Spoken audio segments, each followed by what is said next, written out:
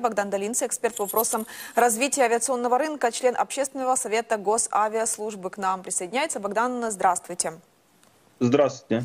Э, что известно о том, что собирается конкретно обсуждать Туск с премьером Британии и генсеком НАТО? Что означает защита воздушного пространства Польши? Э, о чем конкретно может идти речь? Туск акцентировал свое внимание на железном куполе, на этой системе. Э, может ли он планировать создание такой системы для Польши? Э, ну, смотрите, в первую очередь, если смотреть на железный купол, надо, необходимо понимать, что все-таки это не панацея, потому что система противовоздушной обороны, она все-таки строится эшелонированной, и для противодействия разным типам целей э, с э, разными характеристиками в разных зонах ответственности необходимо иметь свои системы, и железный купол — это один из элементов, который использует Израиль для защиты своей территории от возможных ракетных ударов. Кроме того, если мы говорим про систему «Железный купол», то в первую очередь она разрабатывалась как раз для противодействия э, так называемым неуправляемым ракетам с небольшим э, радиусом действия, который э, составляет от, там, от 50, в некоторых случаях до 200 километров. Такая система, э, скорее всего, будет малоэффективна против ракет э, так называемых тактических. Это в первую очередь э, большинство тех ракет, которые использует Российская Федерация против Украины. Вот. С другой стороны, если говорить именно о построении такой системы в Европе, то надо необходимо понимать, понимать, что все-таки Э, на сегодняшний день ни одна страна в мире не имеет такого количества э, необходимых систем противовоздушной обороны, чтобы на 100% закрыть все свое пространство. Поэтому появление, условно говоря, инициативы для того, чтобы создать единую систему противовоздушной обороны над небом Европы, это достаточно э, интересное решение. О нем и ранее говорили, но, по крайней мере, на сегодняшний день э, это еще не создано, потому что есть много вопросов, связанных как раз с так называемыми трансграничными атаками, это когда то или иное вооружение э, вражеской стороны э, использует, условно говоря, приграничные территории. Мы это часто видели, когда Российская Федерация запускала ракеты, например, э, по линии границы между Украиной и Молдовой, когда она запускала ракеты между Украиной и Польшей. Тогда возникает очень большое количество организационных вопросов, кто имеет право сбивать такие ракеты, каким образом сбивать и э, какие риски, что эта ракета, условно говоря, упадет на одну или на другую сторону. Это все вопросы, они не развязаны, и не, не развязаны не только в Украине, они, в принципе, не развязаны в Европе. Э, соответственно, это создает э, дополнительные задачи, каким образом увязать, создать эту единую систему для того, чтобы она эффективно принимала решения, для того, чтобы эффективно уничтожала вражеские цели, и разные страны понимали, как их отдельная система противовоздушной обороны должна интегрироваться в единую систему. Есть несколько инициатив защиты неба над Европой. Скандинавская, использовать авиацию, единый флот в 250 самолетов и закрыть небо Северной Европы. Плюс инициатива Германии, это европейский небесный щит, э, который предусматривает создание единой системы ПВО для всего восточного фланга НАТО. Что можете сказать об этих двух инициативах?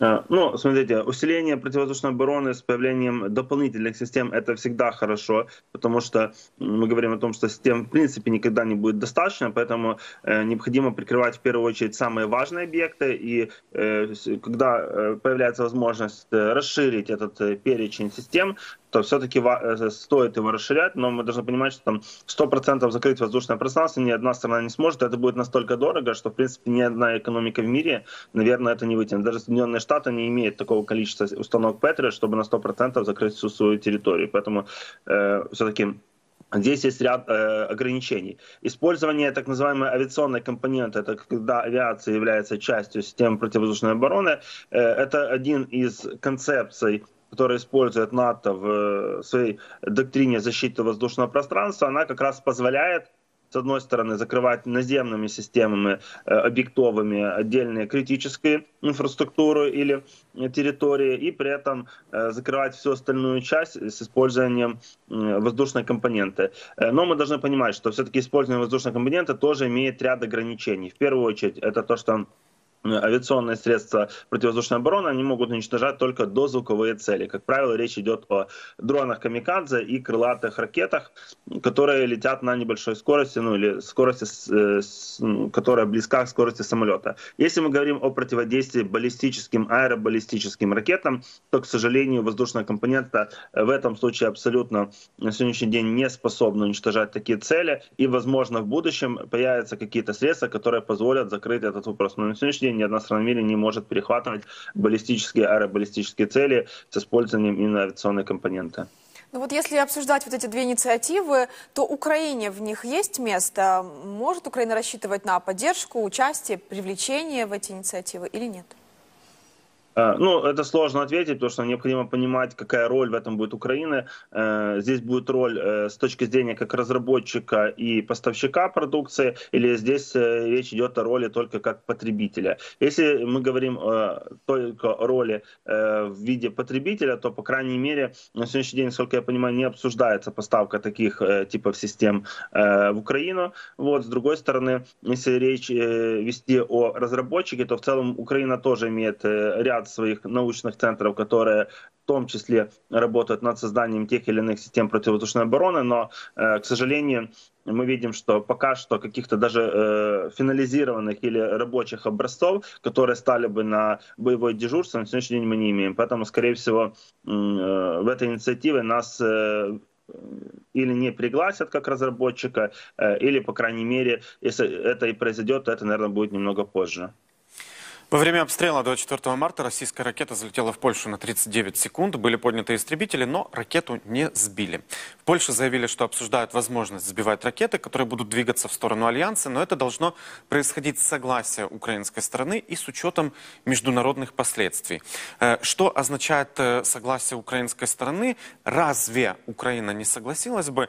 И о каких, я стесняюсь спросить, международных последствиях в этом случае может идти речь? Ну, смотрите, мы уже об этом немножко начали говорить, что на сегодняшний день не урегулирован вопрос, каким образом противодействовать вражеским целям, которые находятся у приграничных территорий в том числе не урегулирован вопрос, кто и какую ответственность несет в случае падения этой э, ракеты, протиракеты или каких-то частей э, сбитых э, вражеских целей на территории одной или другой страны. Поэтому для того, чтобы, э, в принципе, этот подход заработал, необходимо э, создавать и утверждать э, соответствующие межгосударственные соглашения, которые будут определять, кто каким образом э, имеет право эти ракеты уничтожать, на каком расстоянии границы можно выполнять такие действия, э, какие э, последствия или э, какую ответственность несет та или иная сторона в случае падения этих ракет там, на жилые районы или в том числе в случае нанесения тех или иных материальных или других э, последствий. Вот, поэтому эти вопросы они не урегулированы. Российская Федерация, по-моему, тут все понятно. Это эта страна должна думать о последствиях того, что она э, делает, запуская ракеты и дроны. Когда дрон падает на территории Румынии, э, Падает ли он, потому что э, э, его запуск осуществила Российская Федерация конкретно, там, не знаю, ошибившись в точке его прилета, или потому что его сбило украинское ПВО? Украинское ПВО до 24 э, февраля 2022 года, ну, как бы не, не, не выпускало э, противовоздушные ракеты просто так, потому что для, для развлечения. Очевидно, что последствия всего этого – это действия Российской Федерации, разве нет? Э, ну, мы понимаем э, причины, которые к этому приводят, и понимаем э, сторону, которая несет полную ответственность. Но при этом остается э, ряд открытых вопросов. Например, если мы говорим э, перехват э, вражеских целей, э, условно говоря, например, э, ракета, которая летит в западных областях Украины, э, может ли ПВО, э, противовоздушная оборона Польши с использованием установки Патриот уничтожать эту ракету на расстоянии 100-150 километров от границы? Вот тут вот, на самом деле достаточно большое количество вопросов остается, и в том числе какие кстати, украинские силы противовоздушной обороны, видя в воздушном пространстве, условно говоря, польскую ракету, которая вылетела за более чем 100 километров э, от э, установки. А какие нюансы, какие, не знаю, плюсы, минусы, что нужно э, понимать о том, что вот могла бы Польша действительно помочь Украине защитить э, области э, Западной Украины? Да, ну, смотрите, мы видим, что на сегодняшний день идет дискуссия о создании так называемого единого э, фактически системы противовоздушной обороны э, над воздушным пространством Европейского Союза. И, в принципе, э, создание или наложение этой единой системы, в том числе на систему противовоздушной обороны, это тоже является достаточно важным шагом. Вот. Э, и если говорить о том, что, в принципе, э, на сегодняшний день мы видим, что раз есть такие инициативы на территории Европейского Союза между государствами, которые входят э, в ЕС и НАТО, то, в принципе, с таким же успехом может быть создана необходимая процедура для того, чтобы э, страны-соседи Украины могли помогать закрывать ту или иную часть воздушного пространства над Украиной. Но для этого все-таки необходимо разработать необходимые процедуры, их отладить, Э, провести соответствующие обучение, и только после этого, в принципе, это возможно делать. Возможно, даже необходимо э, часть персонала, говоря, который Э, обеспечивает э, координацию и взаимодействие этих систем э, украинского, будет передислоцировать временно на территорию Польши, которая будет фактически совместно с польскими силами противовоздушной обороны закрывать это воздушное пространство, и также частично передислоцировать польских военнослужащих на территорию Украины, которые будут вместе с украинскими силами противовоздушной обороны на Западной Украине поддерживать эту коммуникацию и это взаимодействие. Украине предоставит дополнительные средства ПВО, и не только Патриот, но и сам Ти. Э, те страны, которые не могут дать систему, помогут финансово. Такие результаты заседания Совета Украины-НАТО. Э, нет конкретных цифр. Ранее Шольц заявил, что одну установку Патриот передаст Германия, еще шесть э, нашли. Насколько это усилит защиту украинского неба?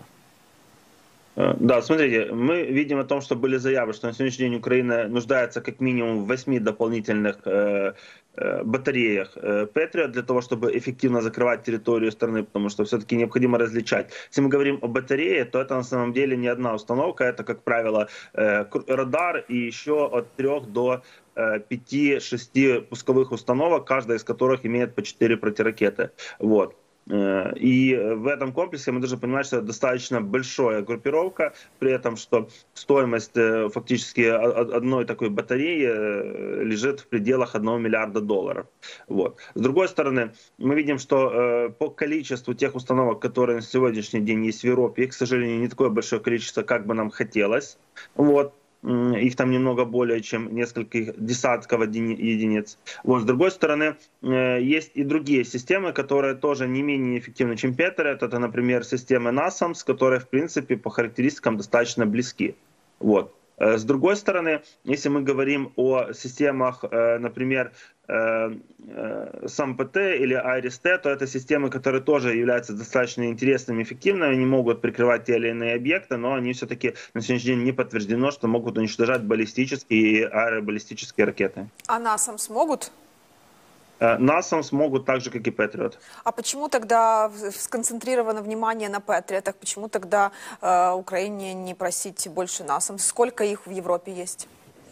Да, ну смотрите, если мы говорим о Патриот, должны понимать, что это на сегодняшний день э, та система, которых произведено большое количество относительно. Вот, с одной стороны. С другой стороны, к ним есть достаточно, э, достаточный запас э, боекомплекта в виде протиракет, которые, в принципе, есть там не только в Соединенных Штатах и в других странах. И производственные мощности, они позволяют продолжать производить как сами установки, так и непосредственно протиракеты. Если мы говорим о системе NASAMS, то это все-таки новая система. Э, она э, достаточно популярна э, в странах Европейского Союза, но при этом их произведенное количество намного меньше, чем установок Patriot с одной стороны. С другой стороны, скорее всего, есть определенные ограничения по количеству протиракет, которые могут производиться для данной установки. Поэтому тут мы должны понимать, что быстро получить какое-то большое количество этих систем мы не сможем. Кроме того, получив большее количество противосистем данного типа, у нас сразу возникнет вопрос о дефиците ракет к этим установкам. Последний вопрос о э, ПВО в России. Нам достоверно известно, что э, снарядами и ракетами Российской Федерации помогают Иран и КНДР. Есть ли страны, которые помогают России конкретно системами ПВО? Или в этом плане Россия справляется собственными силами? Э, ну, смотрите, на сегодняшний день нет подтвержденной информации о том, что Россия закупала дополнительные системы противовоздушной обороны или хотя бы боекомплекты к ним. Э, с другой стороны, должны понимать, что, например, тем же установкам С-300 советского производства на складах э, Российской Федерации долгосрочного хранения в законсервированном виде хранились тысячи ракет такого типа. Если не ошибаюсь, там речь шла о том, что за разными оценками таких протиракет было от 4 до 6 тысяч единиц. Кроме того, их производственные мощности э, позволяют продолжать производить такие типы протиракет. Богдан, спасибо вам большое, что присоединились. Богдан Долинцы, эксперт по вопросам развития авиационного рынка, член общественного совета Госавиаслужбы, говорили о том, э, как Европа думает над тем, чтобы создать эшелонированную воздушную оборону и какая от этого польза Украине. Оперативные новости, эксклюзивные видео с линии фронта. Глубокие аналитические обзоры и только самые авторитетные спикеры. Подписывайтесь на YouTube канал Freedom, чтобы не пропускать главного.